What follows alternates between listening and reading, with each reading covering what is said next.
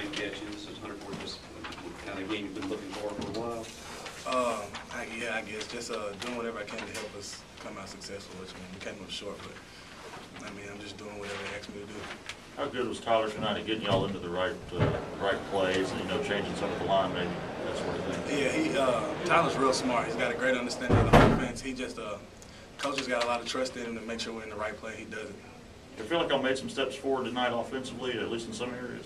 Uh, uh, yeah, um, I think, excuse me, I think most of it comes from uh, this week in practice. We had a good week of practice. Everybody went out and practiced hard, and it showed uh, in the effort part on the uh, field. Just got to execute better. You guys seem to be doing a lot better there in the middle of the field and traffic uh, th- this week than maybe in previous weeks. What do you think it was tonight? Um, I think it's got a lot to do with Tyler and the ball placement. We got a lot of trust in him, and he's reading the defenses, and he's just putting the ball where it needs to be. Talk about, take us through your touchdown. Last question.